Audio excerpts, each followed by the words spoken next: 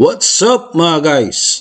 Magandang umaga, tanghali man o gabi, saang sulok ka man naron sa mundong ibabaw nito. O dito guys, comment reaction ulit tayo dito. Sa live ni Banat Bay, patungkol ito sa mainit na usaping disqualification.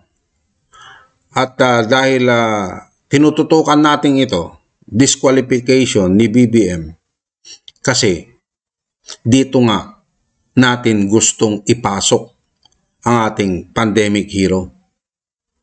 At nagbigay nga ng uh, kumbaga parang uh, nagbigay ng kanyang damdamin dito sa disqualification ni BBM at nagpahiwatig ang ating pandemic hero.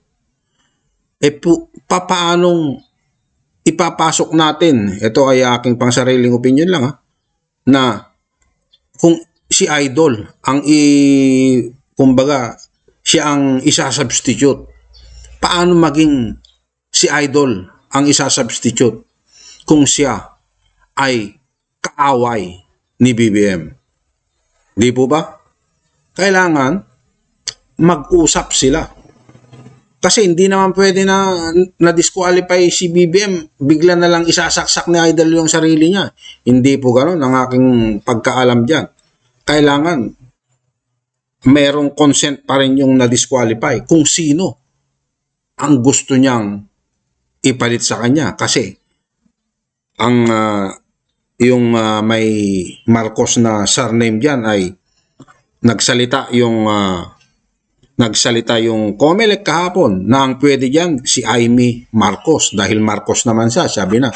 Saka yung asawa niya na si uh, ano nga ba pangalan niyo?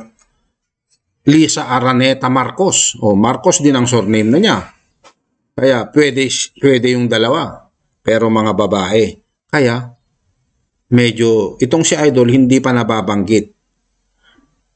Kumbaga, kung may divine intervention yan na kaloob ng Diyos at yun na nga na pag nakipag-ayos o may pag-aayos na ang kampo ng ating pandemic hero, si Idol, ay maaring siya nangangarap Nangangarap tayo. Nangangarap din ako na siya ang isaksak yan kung sakali magkaganon na madisqualify nga. Pero ano ang kailangan gawin ni Idol? Di siyempre, makipag-usap sa kampo ni BBM. Hindi naman po, po pwede na basta kagustuhan lang ni Idol eh siya na ang papalit magsasubstitute? Base sa aking pangsariling opinion, hindi po, po pwedeng ganun. Kailangan may, paki, may pag-uusap pa rin yan. Kasi tatlo nga sila pwedeng pumalit kung sakasakali. Kaya, yung uh, sinasabi ko na nagparamdam ang ating pandemic hero at sinabi nga niya na siya yung ipapalit ay kaya tayo kay idol lang tayo. Kung ano yung gusto ni idol ay siyang masusunod. Dahil naniniwala pa rin tayo na siya ang signatory at si BBM ay inabolish sa last will and testament. Kaya yung propesya na maglilingkod ang signatory ay nandyan pa rin yan hindi pa tayo nawawalan ng pag-asa dahil dyan sa disqualification na yan. Kaya ano ang dapat gawin ni Idol? Siyempre, makipag-ugnayan sa madidisqualify para magkaayos kung ano man ang namagitan sa kanila. Ganun lang po kasimple. At uh, yung mga nagsasabing bumaliktad na ako, ang ang important ang sa akin lang kung ano ang desisyon ni Idol, iyan ay aking susuportahan. Dahil kinikilala rin tayo ni Idol na, nung dun sa Zoom meeting nga ay nag-usap kahit saglit lang nag-usap din kami ng Ilocano at nakakapag-chat din kami ni Idol. Yun po. Pasok! of Apo. uh, Ilocos. Apo, apo. And uh, yung pag-alis niya ng bansa ay matatawag ba nating hindi na siya public officer? I think yun ang dapat tingnan sa apila. At pa, aabangan natin kung ano magiging ruling ng NBank at ng Korte Suprema sa issue na yan. Pag ba ikaw ay umalis ng bansa, ibig sabihin hindi ka na public officer? So I, I think yun ang turning point sa kasong ito. That's an in- that- that's a very interesting point. Uh, uh, attorney, one more if if you don't mind. Of course, may pending pang petitions yung Akbayan tsaka yung Karma. Um, these are human rights activists and uh, martial law victims. Uh, with a different division, first division ng uh, COMELEC. Of course, it's a different division, but basically they're arguing the same, uh, they're making the same arguments. Uh, yung uh, conviction ni Bongbong Marcos sa RTC na inaffirm ng CA at yung binasura ng CA na isa pang violation. Uh, can there be a differing outcome or different outcome from a different uh, division? And how will that be resolved? Uh, especially if you're, look, you're looking at the same fundamental uh, issues. Um, kung sa question na posible ba, posible. At mangyayari naman talaga na magkakaiba ang magiging ruling ng uh, division kahit na pare-pareho ang set of facts. Kasi iba-iba yung nature ng petition at iba-iba yung mga taong maghahatol. So iba-iba ang basa nila at interpretasyon sa mga papel at sa mga provision ng batas. Halimbawa, kung ang petition na pending sa ibang division ay disqualification, ibang standards ang mag apply eh. Dito kasi sa petition for cancellation, isa lang ang ground, Ed. Ang Yun. ground lang ay false material representation. Samantalang kung ang i-final ay petition for disqualification, doon papasok yung issue ng ah, ah, moral turpitude, doon papasok yung issue ng ah, iba pang mga ni-raise. No? Ah, hindi kasi po pwedeng pagsamahin yung dalawang magkaibang ground sa isang petisyon. Yun, hindi pwedeng pagsamahin. Kaya yung ang kumbaga, yung na-dismiss, yung cancellation. Pag kasi yun ang nadal, nangyari, yung pag na-cancel, wala na tayo. Goodbye na yung ah, substitution pag cancellation. Pero dito, sa disqualification, merong substitution. Iyon ang ah, dun tayo dito tayo kumbaga dito tayo interesado sa disqualification kasi meron tayong ipinapasok na ah, kandidato. At meron pa akong nasisilip na isang ah, kumbaga baka ito ang tunay na dahilan bakit si Sarah ay naki ah kumbaga bakit sumapi si Sarah kay BBM meron akong nasisilip na pangitain diyan na madidesisyonan lang yung disqualification na yan pag nanalo na silang dalawa. Maari, maaring ganon kung si Sara ang gustong maging president. Kasi, yun nga yung sinabi ng COMELEC, pag yung disqualification case ni BBM ay nahatulan na siya ay nanalo na. Natapos na ang bilangan at siya ay nanalo na. At lumabas yung disqualification case na hinatulan na disqualify nga si BBM ang magsasaksid ng kanyang ah, pagkapanalo ay hindi na pwedeng i-substitute dahil nangyari na yung eleksyon eh. Nanalo na siya eh. Pero na-disqualify siya. Ibig sabihin, yung kanyang vice president ang successor. At sino yung kanyang vice president? Kung sakaling siya ang manalo, si Sara. Siya ang maging presidente. Ayun. Yun ang isa ko na ano ko dyan. Kumbaga, parang nakikinikinita ko rin mangyayari kung madidisqualify nga na tapos na ang eleksyon. Maari ipupustro kung may mga senaryong ganyan. Ito po ay aking espekulasyon lang. Ayon. Pasok!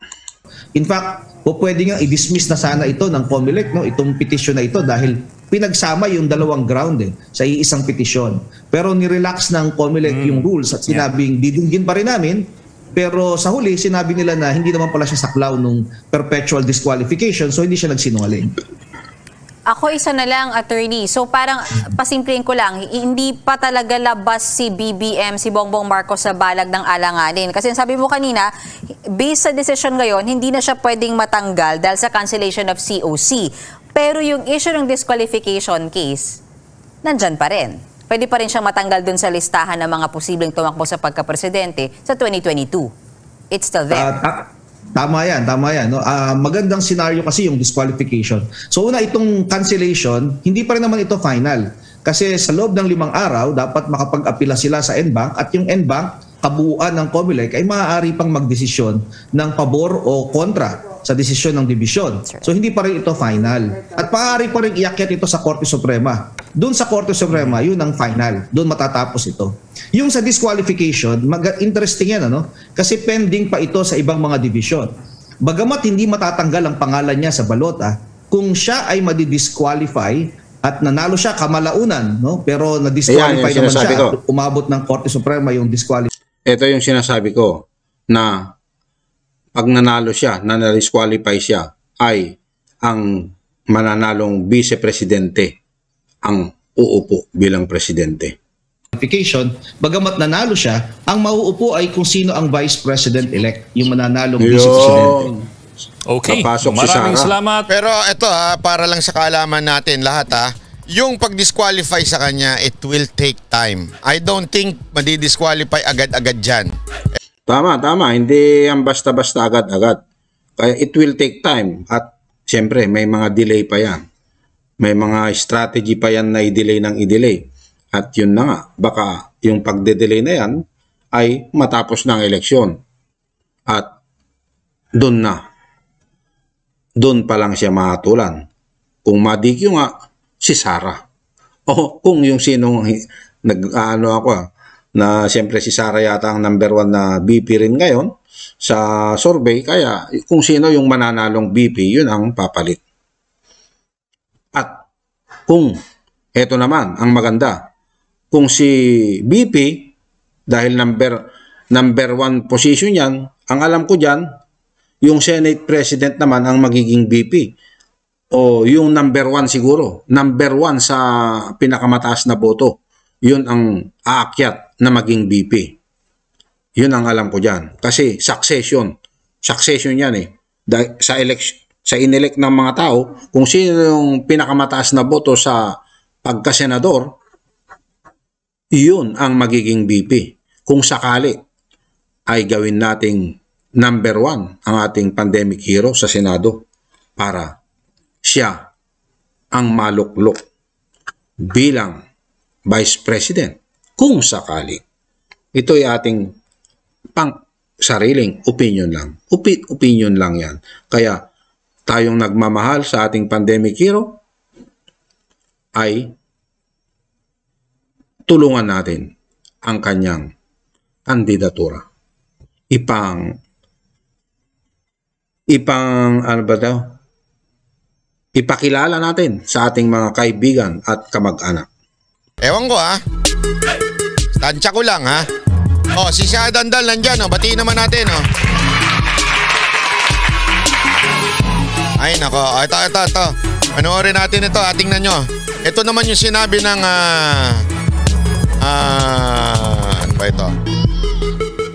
ng COMELEC kung sino yung magiging uh, sakasakaling uh, madisqualify na siya. Pero ito, ito ang mamumuno.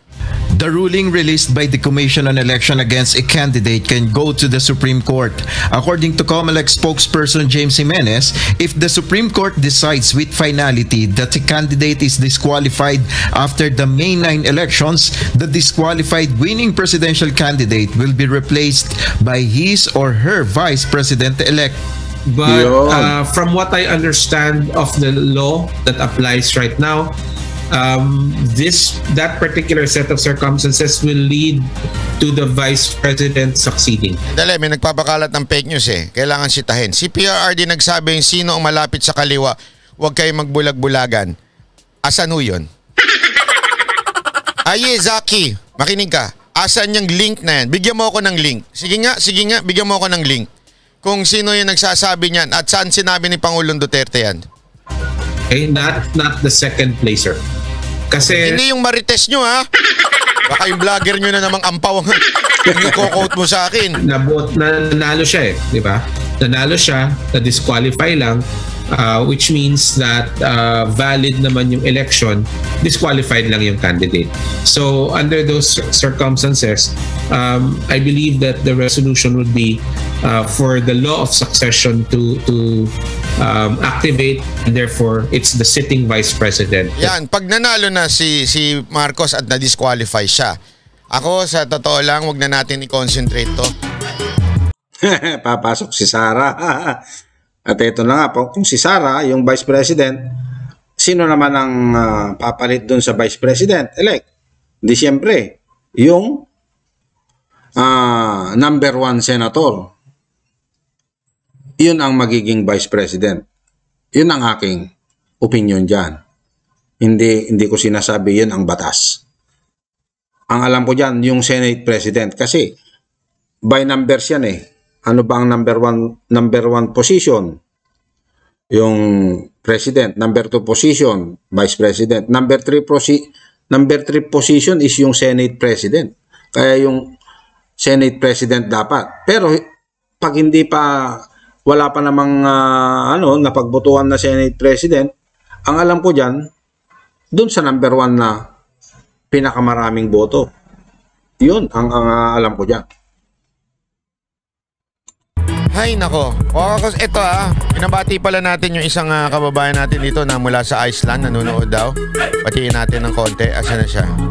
Ah, yun, ayun. Ah, Nanay Tala. At If the president-elect fails to qualify, the vice president-elect shall act as president until the president-elect shall have qualified. Jimenez also explained that if a candidate is being disqualified with finality before May 9 elections, individuals with the same surname can substitute him or her. if a candidate is disqualified with finality, then that amounts to an involuntary withdrawal. If the candidate is filing under a political party, then the right of substitution applies, which means that the candidate who was disqualified and therefore involuntarily withdrawn will be able to be substituted by a person with the same surname. Okay? idealism at saka yung prinsipyo base. Hindi ho ibig sabihin gusto ko si defensor. Lahat ng sasabihin niya tama. Ulit. Ah, is, nagke-candy uh, ako, ah. the, uh, their compliance to some of the to some of the um, uh, laws and regulations. Rin yung sagot ni Isko. Laging tinatanong to sa lahat ng kandidato. Ah. ABS-CBN, Oh. anong gagawin ninyo pag kayo naging presidente? Ah, ito ba... ah, Ayan, patungkol sa ABS-CBN, ano naman ang, ah, ano bang, Pag binigyan sila ng kongreso, Ayan ang sagot naman ni Isko. Pag siya ang naging presidente, ano ang gagawin niya sa ABS-CBN?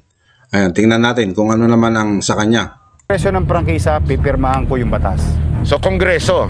Of course, eh, yun naman ang nagbibigay ng franchise. Okay. So, oh, ganun lang, ganun lang! Ganun ka rin pala eh! Pagka ano na daw Kongreso, oh, sige, tingnan natin. design it into law. Pero yung obligasyon nila sa Estado, like mga buwis, dapat nilang bayaran yun. Ah, Ayun. Pero, kailangan i- i-bayaran nila lahat ang kanilang obligasyon. Yun. So hindi nyo, basta makikipagsundo, okay na kami, sundo na tayo, hindi na kami maging bias, balik na kami. Hindi, hindi ganun. Kailangan pagbayaran nila yung kung ano yung ginawa nilang mali. Ob- obligasyon nila yun eh. Parang ikaw yan, Hmm. yung manonood mo ngayon. Mm. O for example, yung mga OFW, yung mga ah, taxpayer, di ba nagbabayad sila? Mm. O ganun din. Yung applicable din yung batas sa kanila. Gusto nyo magnegosyo, magbayad tayo ng obligasyon sa gobyerno. Ayun. Eh, paano kung ah, kung ah, yung ah, gustong magpabayad ng ah, obligasyon ay hindi nga nagbayad ng obligasyon din? Oh, paano yun? Ah, so, Ito, in this case, meron silang nakitang pagkakautang o bayaran nila yun sa gobyerno. so dapat nilang pagbayaran yung Ay, mga... dapat. O, kasi, sabi So dapat daw pagbayaran yung gobyerno. Sabihin, bayaran yung gobyerno. bayaran yung gobyerno. O, panagutin sa gobyerno. ko kasi, there must be certainty of rules. Oo. And there must be predictability in government transaction. Certainty and predictability. O, yung equal opportunity, o di bibigyan ko kayo ng pagkakataon. Sa kayong kongreso, binigyan kayo, pipirmahan ko. Dahil Pag bago pirma, oy, yad ba ka na ba? Ayan, Oo. kailangan bayad, Bayad ka na ba? Oo. Ayan, so sa kanya, pagbabayarin niya. Okay, hindi pa pwedeng ganun-ganun lang. Hindi pwedeng, ayos na tayo ha. Okay na, okay na, hindi na kami, hindi na kami bias. Oh. Hindi, dali, bay- bayad ka na ba? Bayad ka na sa gobyerno. Kasi yun yung kunwari, yung tax, di ba? Oh, yung tax ang ah, issue. Dali, magbayad ka muna ng tax. Ang laki mo, ang laki nung pe, yung ano mo eh, nung utang mo nun eh. O, magbayad ka ng tax. So, yun ang, yun ang sagot ni Isko. Ay, ewan ko kung okay sa inyo yun. Oh, by the way pala, yung background ha. Kita nyo yun, ganda? Manila Zoo yan. O, kasi may obligasyon ka, sabi ng kongreso. Oo. O sabi ng BIR, o Oo. sabi ng ah, Estado, may obligasyon ka. Yad ba ka muna? Yagba. Kala ko yagballs eh. Yagba. Bayad ka muna. Mali yung yagba! Ah, yadba! Yadba ka muna, yadba. Yadba ka muna. Yadba! Kala ko yagba. Yadba Si ka Yorme, muna. oh, talaga nga naman. oh. Yadba. Okay? Yadba ka na ba? O sabihin, Oh. bayad ka na ba?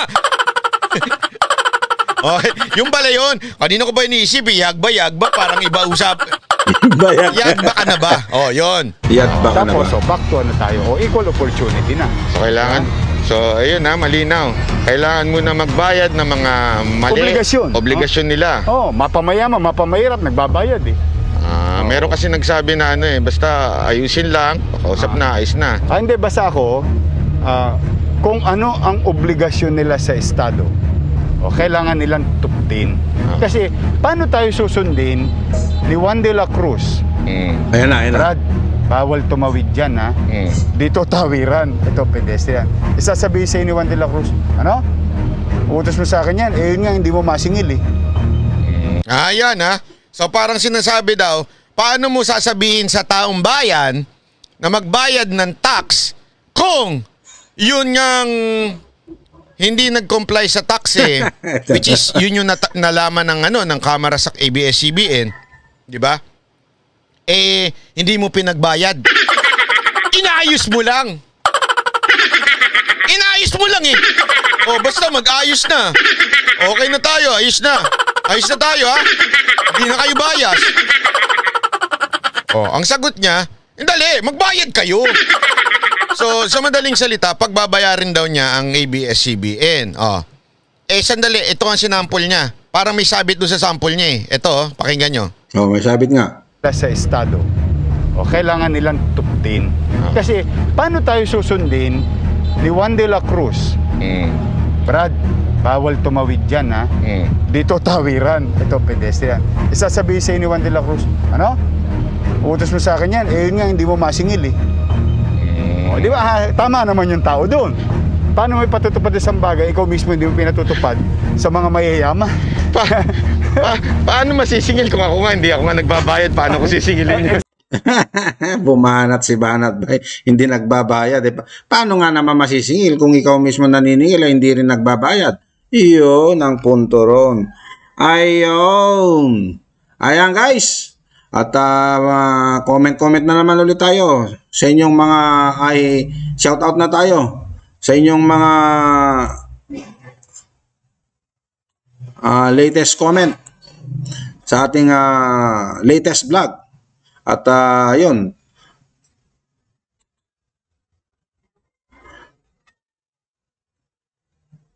Ayan, tingnan natin yung ah, inyong mga comments sa ating latest vlog. Ayan, meron ng 43 comments. Ulit ah. Ayos natin. Ayan, hinana, hinahanap pa ang ating mga, ang iyong mga comments.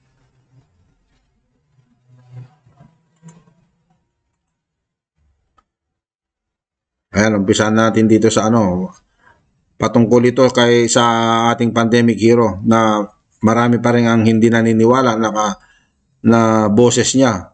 Yung labya daw niya, eh, hindi naman daw siya naglalabya. Ano ba talaga? Ano ba talaga? Ayaw talaga nilang maniwala sa boses ng ating pandemic hero. Kung yun, yan ang inyong uh, opinion ay wala na tayong magagawa dyan.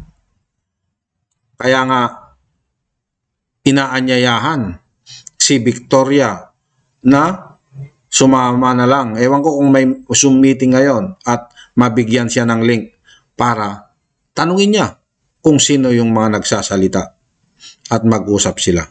Mag-usap sila ng ano, ng uh, Espanyol para mapatunayan niya kung yung pa rin ba yung idol na kakilala niya, marunong mag-Espanyol at may pabungad nga na Espanyol.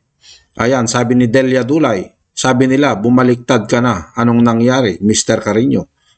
Sabi ni Joe Soriano, hihi, paano po? Nasabi na bumaliktad na po. Puso ni Sir FLM ay pro mahirap, hindi puro mayaman. Pedro Unay, good morning po Sir Roman Carino, LTV Vlog. Go, go, go lang maka-BBM ka na yata lakay. Nagre-reaction lang po tayo sa mga bagay-bagay.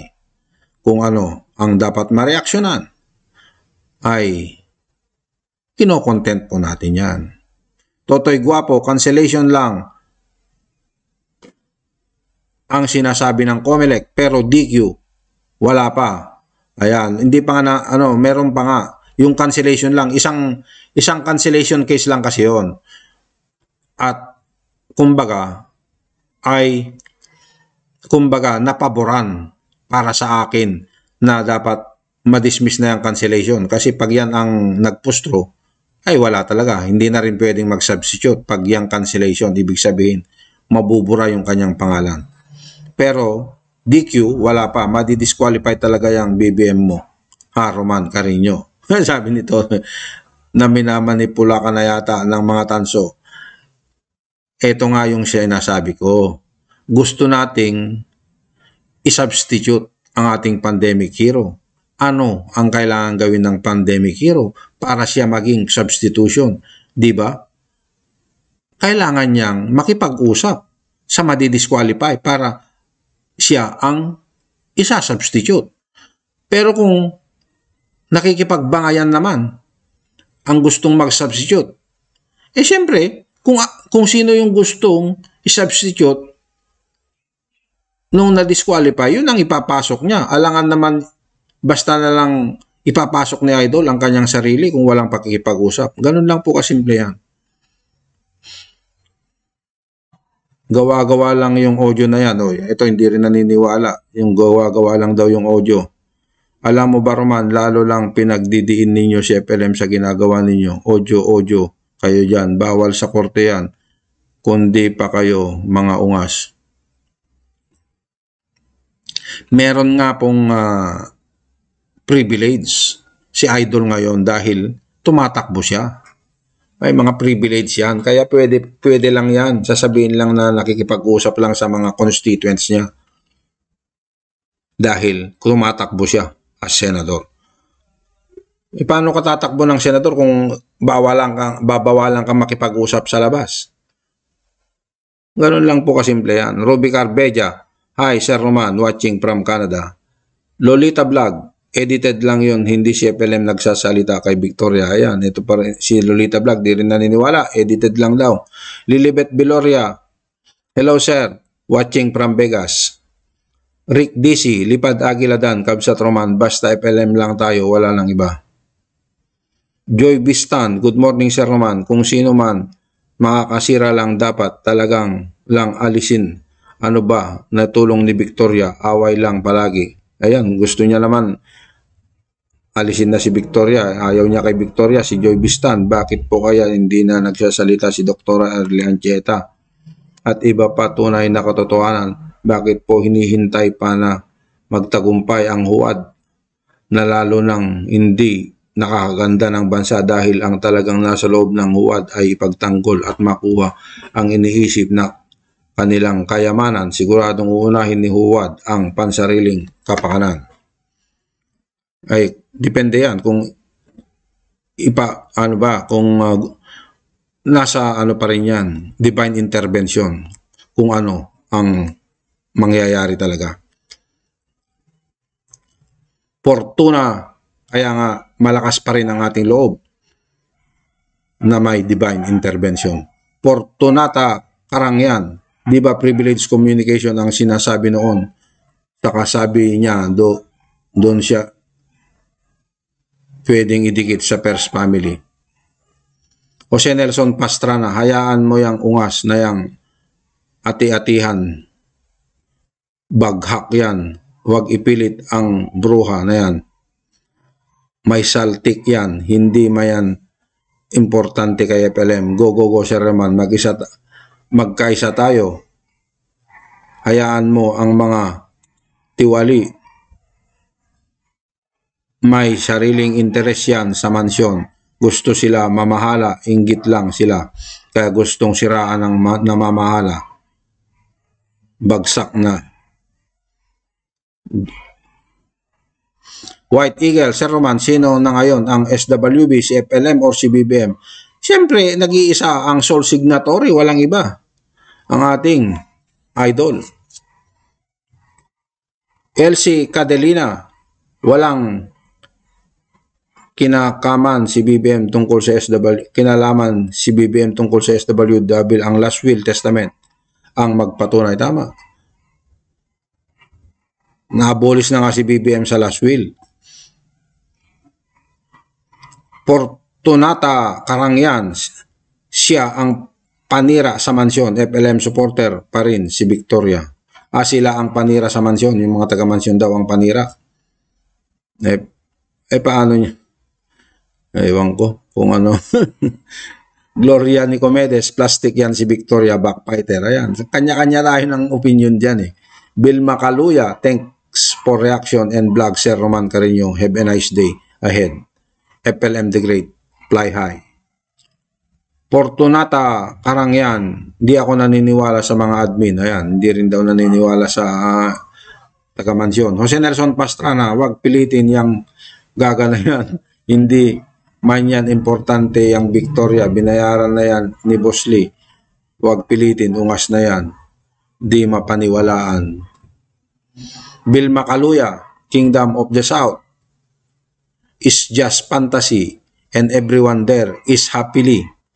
I am with them and still I am with you, Sir Roman Carino. Ay, salamat po, Bill Macaluya. Kahit nandun ka sa kabila ay na, nandito ka rin sa akin. Ayun, salamat po. At yung iba nga ay marami nang nag-unsubscribe. I feel Bosley also her great defense and I all I know she love and care FLM. I am praying for understanding to all. Tama yan dapat kailangan magkaunawaan tayo. Ma'am Victoria, sabi niya. Hmm. Sir Roman, in my own understanding, Kambal is filtration and purifying our hearts. Yeka Lope, hindi yun legit, never nagsalita ng labya si Idol. Ito, ito yung nagsasabi, hindi na naman daw legit yung uh, yung pinarinig dahil may labya daw. Labya. Siyempre, lambing yun ni Idol sa mga malalapit sa kanya. Lagi sinasabi niya na mahal ko kayo. Pangkalahatan yon. Sa pangkalahatan, mahal ko kayo. Siyempre, may meron isang taong tinutumbok niya dyan eh. Kaya, love you. Love you. O, di ba? Paniwalang paniwala kayo. O, yun, siyempre. Idol natin yan. Di, di, maniwala tayo. At sinabi nga niya na pumunta siya sa Zoom meeting, bibigyan ng link. Ewan ko kung uh, tawag nito, kung uh, pupunta si Victoria at padadalan daw ng link. Ron Arellano, ito karuman yung sinasabi ng mga tao sa kabila na edited lang ang boses ni FLM. 100% naniniwala sila na si FLM yung nagsasalita. Pero yung puso nila ay hindi dapat ganyan ang salita ng isang FLM nila. Gusto nila yung dating FLM na pangmasa, na nalalapitan at nakakausap ni Numan. Kaya nila nasasabi na edited yan kasi yung dating FLM ay nawawala na at parang one-sided di na nakikita ang katiwalian sa mansyon sa mismong bahay niya. Siyempre, eh, hindi natin masisi yan dahil siyempre hindi naman ang nalalaman lang ni Idol yung mga live. Yung mga pag nagla-live, pagka ano, napapanood niya. Kung meron man itinatago ang mansion, ay wala na tayo doon. Monin Slanang, yes, boses talaga tunay ni si Idol FLM ang boses. Yes, I miss you Idol. Ayan, si Monin Slanang naniniwala naman. Kaya nga, may sari-sarili tayong opinion dyan. Ito naman si Inchik, Sir Roman, we love you Sir FLM, we miss you. Helen Concepcion, go Idol, boto ako sa'yo. Asuncion Villalon, FLM lang malakas, God bless. Loida Guevara, hello po Sir Roman, shout out po sa inyo. Still po, naniniwala pa rin ako sa inyo. Solid FLM pa rin. Ayan, salamat. Loida Guevara. BCM TV, Sir Roman, ayon sa aking pangitain, matutupad ang tunay na propesiya ng ating mahal na propeta na si Apo Pem. O propeta daw si Apo Pem. Ang kanyang mahal na anak na si FLM ang katuparan ng lahat para umunlad na ang bansang minahal ng Diyos, Maharlika, ang pinakamaunlad na bansa sa buong mundo. Kaya si FLM ginabayan ng mahal na inang Birhen Maria. Iyon, oh, napakaganda yan. Salamat, BCM TV. Cecil Matias, yes, we count for FLM, lipad agila, lipad. See you soon. Ayan, kagaya nga sabi ko, Jose, Jose Mariano Apar, shout out, mga ka-FLM family, FFCA Worldwide watching from Osames City. FLM Eagle Squad 01, Roman, mga artista ang tao sa mansyon. Ayun, artista daw yung mga tao sa mansyon. Lumalabas na ang mga kulay ng tao sa mansyon. Mahal ko si FLM. Walang halo na BBM. Ay paano po yan kung sinabihan ka na nag-ayos na nga sila? Ano po ang gagawin natin? At yung sinasabi ko nga, ultimo si Inday na nangyura. Naghanap ng mga ebidensya, kuno, para lalong idiin ang ating pandemic hero ay kanyang pinatawad. E kung pinatawad din ng ating pandemic hero ang minsang niyang itinuring na pamilya, ano po ang magagawa natin? Tayo ay mga supporter lamang po. Matutina 588, huwag po nating pangunahan ang ating pandemic hero. Maka-FLM ako pero di ako naniniwala sa mga voice record ni FLM sa mansyon. Wala na nga sila idea kung asan si FLM. Buti ka ing, kay Inga, Angga, nakakausap si FLM na tunay, aba? Di siya, si Angga pala ang nakakausap ni FLM. Ayun. Eh, sabi naman, ay si FLM ay walang direct link ng sino man. Kumbaga, merong silang uh, way na kailangan dumaan muna na ipakiusap muna kung sino yung may hawak ng telepono siguro. Kaya hindi kung sino-sino lang ang makakausap po.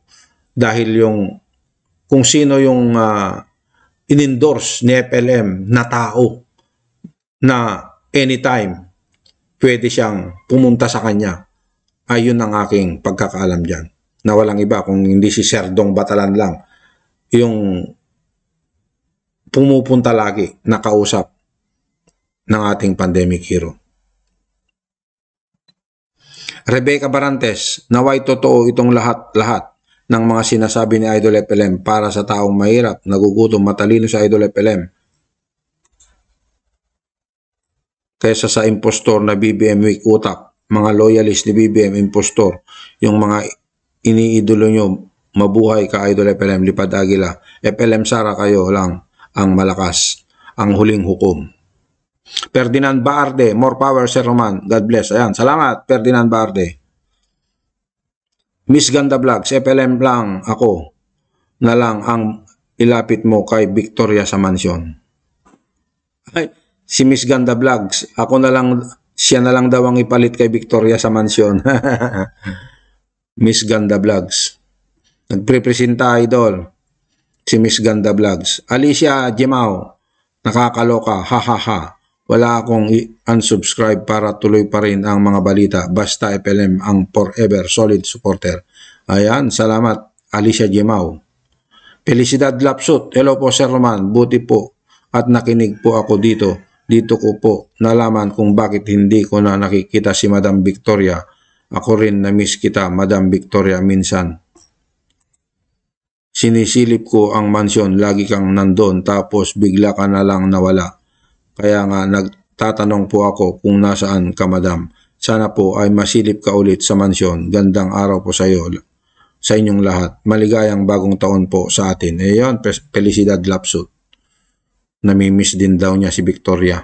Alicia Jamao, ako na naintindihan ko kung ano ang mga nangyayari ngayon. Parang si Tatay Digong lang ang naglalaro para malaman kung sino ang tunay at dapat sa kanyang mga tauhan. Pero alam ko, pareho yan sila mahal ni Idol FLM, ang Mansion at South Kingdom. Truth Tuber Bolt, Sir Roman, wag mong lituhin kami sa pamamagitan ng voice message ni Idol. Hindi po kami susuporta sa Budol Team. Boses yan ni Batalan. Tay-tay. Kung tunay yan si Idol FLM, hinahamon namin siya mag-video call kay Mami Victoria. Ayun na nga po. Uh, sa Zoom meeting, pupunta raw si Victoria sa Zoom meeting para masabihan siyang lumabas tingnan namin kung ma-edit pa ang boses ni Batalan kung nasa malayo na yung kabidyo ni Mami B. Hindi na po kami naniniwala unless sagutin nila yung transparency na hinihingi ng members. Simple problem, cannot answer. Budol team. Nagpaliwanag na nga po si Sir Dong kagabi. In, instead na sagutin nila yung transparency o income money, incoming money, ang outgoing money, dyan pa sila busy kaka-edit ng audio para gamitin para mabigha ni mga puso ng supporters. Maging maayos lang lahat kung magpakita sila ng balancing ng money for transparency. Ang bilis mag-edit. Roman Carino pwede mong basahin lang yang sinabi mo ang diretsyo millennial na tayo ewan ko yan ang iyong opinion hindi ko maintindihan kung paano yung edit-edit na yan. Yung edit na chap-chap pwede, pero yung gagawa, gagawa ka ng kaboses ni Idol, ewan ko kung paano gagawin yon. Yung B8, B8, hindi mo makukuha yon sa kaboses. Yung edit kasi, yung sinasabi yung edit, yung chap-chapin.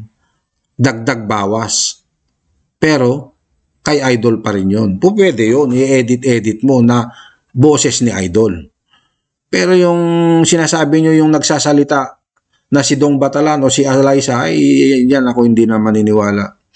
Hindi po pwede yun. Wala pang, kumbaga, wala pang, uh, wala pang, uh, ang tawag nito, wala pang software na kung sino yung gusto mong uh, gusto mong uh, gayahin ng boses, kahit sinong tao, magagaya niya yung boses, hindi po pwede yun. Eh di sana kung meron ganong software, di kung ako singer ako, gusto kong gayahin yung mga magagaling na singer, di pwede na. Hindi po, po pwede yon Yung edit lang na sinasabi, yung chap-chap, uh, it's either na may dagdag bawas o pag bago-baguhin yung uh, yung uh, sequence pero siya, siya rin yung nagsasalita Ganun lang ang alam kong edit. Siya pa rin yung nagsasalita na babawasan mo, dadagdagan mo, ganun. Pero siya, hindi ibang tao yung nagsasalita. Carmen Abergas Ande, eh kasi si Batalan nagmura at tinawanan lang nila si Bosley. Sila ang nasa mansyon. Nasaktan si Bosley kaya humantong sa away. Hindi. Ganyan, Sir Roman. Kung mamumuno ka, kailangan ang pasensya lagi nasa puso para walang away. Eh, lahat naman yun, kahit nga si Idol, nagmura rin yan. Pag once na po kasi na nasaktan na o nanggigil na yung isang tao, hindi mo na po mapipigilan. Yun yung tinatawag na meltdown. Lahat ng tao naman nagkakasala. At ah, e- ewan ko, eh, kung kailangan maghingian ng ah, kumbaga, mag-sorry, ewan ko kung nag-sorry na o ano, ganun lang yon Mahal ko silang lahat, Roman. Si FLM ang pinaglalaban nila sa pagmamahal ni Boss Lee. Ni FLM, umiyak pa yan. Bakit ganyan? Sana si FLM magsalita about Boss Lee. Di ba narinig nyo yung sabi niya, hindi na ako magsasalita about Boss Lee, sabi pa niya kagabi. Ewan ko kung ano ang ano, dahil siyempre alam na medyo malalim na yung kanilang ah, binabanggit. Kaya hindi na nagsalita si Idol. Na sana lambingin kasi nasaktan yan. Eh kaya nahalungkat lahat ang mga baho. Ay, si Boss Lee, grabe, magmahal. Todo bigay, sana magkaayos na. Susana Muyko, hindi ako naniniwala Sir Roman, kayo ang mag-isip. Bakit wala siya masabi kay Boss Lee? Ayaw ko na magsalita, kayo na lang mag-isip. Basta ako, hindi ako na niwala. Eh, yun, nasa inyo yan. Ay, yo mga guys, at hanggang sa muli, ang inyong kaibigang Roman Carino LTV, muling magbabalik.